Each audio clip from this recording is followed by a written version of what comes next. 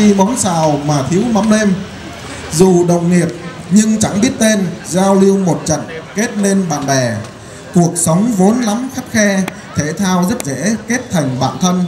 Ai ơi chớ có phân vân, cứ chơi vài lần ắt sẽ thân nhau. Ngoài xã hội, trong công việc sẽ gặp nhau, bạn ta giúp đỡ, phép màu sinh sôi. Khi ấy cuộc sống tuyệt vời, chúng ta sẽ thấy yêu đời lên thôi thay mặt cho lãnh đạo phòng giáo dục lãnh đạo toàn thể cán bộ à, cán bộ quản lý và anh em phòng giáo dục xin l- l- gửi lời cảm ơn đến một vị lãnh đạo đã gửi một đoạn thơ chúc mừng cho ta ngày hội thao hôm nay. Thay mặt cho ban tổ chức tôi xin nhiệt liệt chào mừng và cảm ơn các đồng chí lãnh đạo huyện lãnh đạo sở giáo dục đào tạo lãnh đạo các phòng ban ngành cán bộ sở giáo dục đã về tham gia hội thao. Đặc biệt cảm ơn các vận động viên hưu nhưng vẫn nhiệt tình tham gia. Chung vui với ngành. Lời chúc sức khỏe, hạnh phúc và thành công.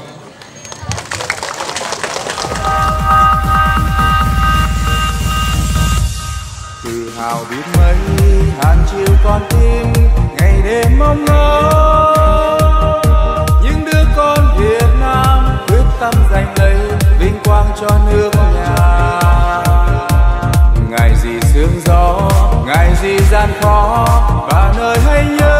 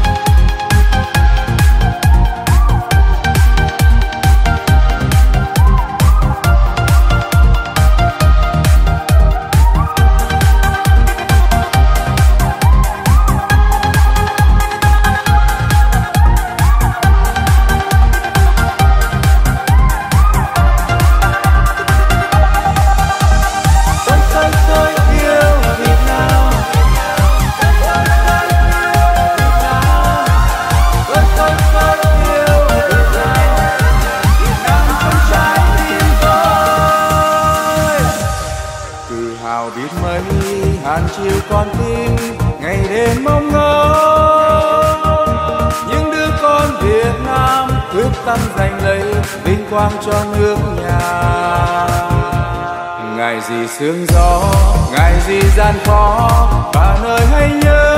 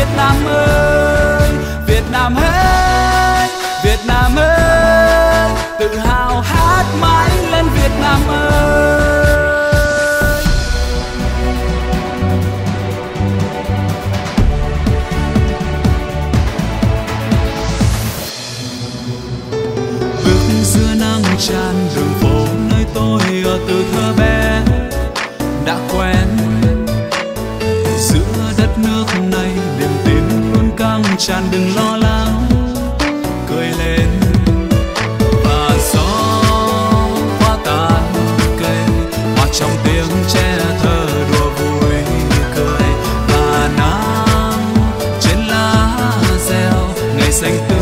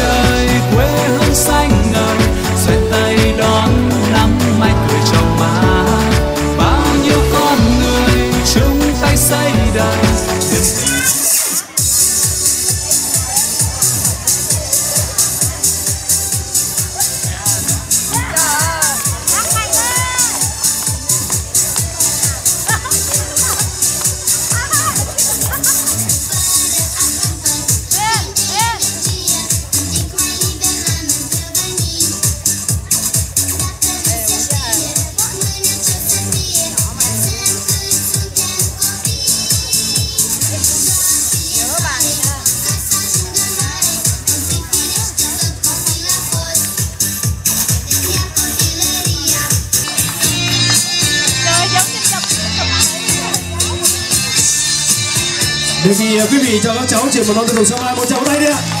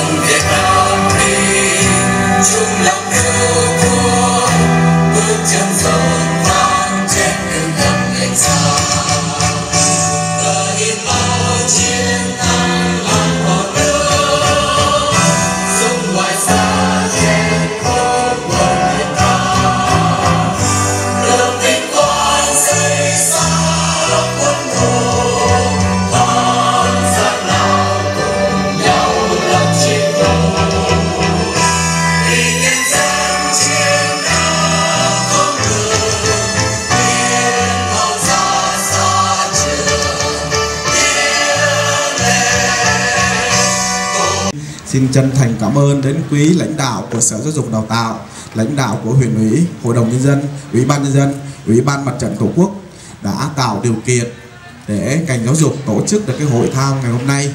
Có thể nói là hội thao ngày hôm nay là thành công rất là tốt, rất rất là tốt đẹp. Đấy, xin chân thành một lần nữa thay mặt cho lãnh đạo ngành chúng tôi xin à, cảm ơn.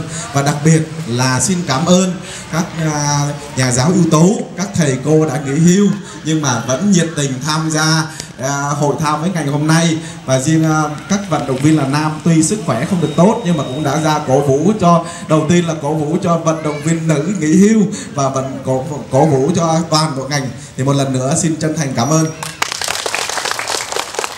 kính thưa ờ, quý vị đại biểu các ờ, thầy cô giáo. Thì khi mà cái tổ chức cái hội thao ngày hôm nay á, thì à, lãnh đạo ngành chúng tôi á, là cũng đã tập dược trước để chuẩn bị lên nhận cúp. Dạ.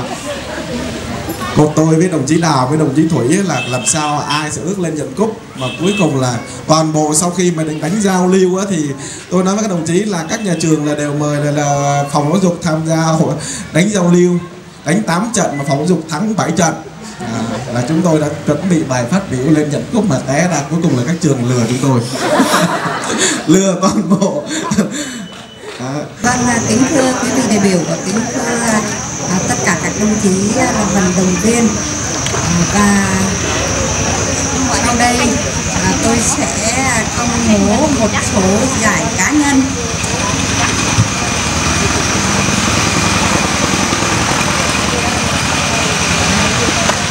À, và à, khi tôi à, đọc tên tới à, cầu thủ nào thì mời các đồng chí à, nhanh à, chân lên bục danh dự à, để nhận giải à, giải thứ nhất đó là cầu thủ nam xuất sắc nhất thuộc về vận động viên vũ cấp cao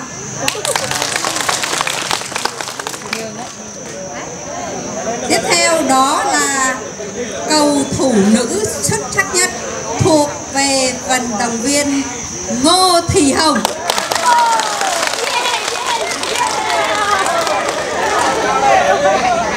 Tiếp theo, đó là cầu thủ nam lớn tuổi nhất, xuất sắc nhất, đó thuộc về vận động viên Lê Văn Hùng.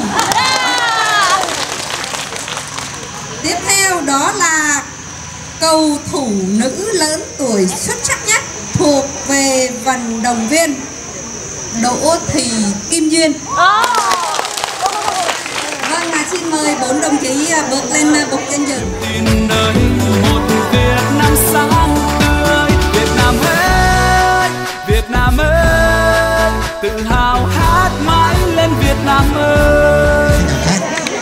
Thì đối với cái làng giải trí hay ta thường gọi là là showbiz mà ở trong à, ngành giáo dục Việt Nam đặc biệt là hội thao bóng truyền thì à, à, chúng tôi có một cái định luật bảo toàn về vấn đề nhan sắc. Đó là nhan sắc người đẹp không à, tự nhiên sinh ra và cũng không tự nhiên mất đi mà được chuyển từ trường này sang trường khác mà được chuyển từ người này sang người khác. À, để có cái điều kiện và thời gian à, chúng ta chứng kiến những nhan sắc mà các hoa khôi năm 2018 đã đạt giải bóng truyền thì à, xin phép cho chúng tôi à, à, thay mặt ban tổ chức xin kính mời hai hoa khôi đã đạt giải trong năm 18 lên để chuẩn bị trao lại cái vương miện cũng như trao trao lại cái vương miện cho các hoa khôi năm 2019 à, xin à, trân trọng kính mời à, bà Trình Thị Thỏa nhà giáo ưu tú nguyên là hiệu trưởng trường trung học cơ sở Di Thanh. Và hiện nay là vận động viên của đội à, bóng chuyền nữ câu lạc bộ đã bị hưu. Xin à, kính mời bà lên sân khấu. À, đồng chí thứ hai là xin kính mời bà Nguyễn Thị Kim Hoa hiệu trưởng à, trường tiểu học Trần Văn Ơn và cũng là hoa khôi hai trong cái hội giải năm uh, kỷ niệm xuân vừa rồi. À, xin uh, kính mời hai uh, đồng chí chúng ta lên sân khấu và một cái niềm mà một cái cái cái, cái niềm mà ao ước của anh chị em chúng ta trong ngành giáo dục đó là đạt những danh hiệu cao quý nhất. Để đối với làng giải trí ấy, thì à, một cái niềm mà chúng ta mơ ước là đạt danh hiệu giống như hai người mẫu đã lên sân khấu. À, chúng tôi xin à, à qua một thời gian thẩm định chúng tôi được nằm trong ban tổ chức kiểm tra từ à, mặt hình thức và nội dung. À, thì à, ban tổ chức chúng tôi đã cân đảo và thống nhất à, đưa ra hai hoa khôi. Năm nay đạt à, hai danh hiệu này. Để xin phép mang kính theo đọc nhầm.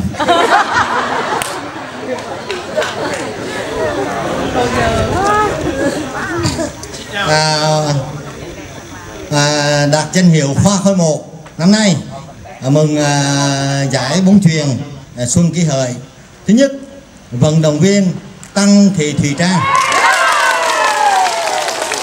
thuộc đội một liên quân của xã Đức Mạnh và thị trấn Lâm Minh. À, xin mời hoa khôi một chúng ta lên sân khấu. Hoa khôi hai à, xin mời bà Nguyễn Thị Thúy Hồng thuộc đội cán bộ hưu trí À, xin Việt Nam ơi! Tự hào hát mãi lên Việt Nam ơi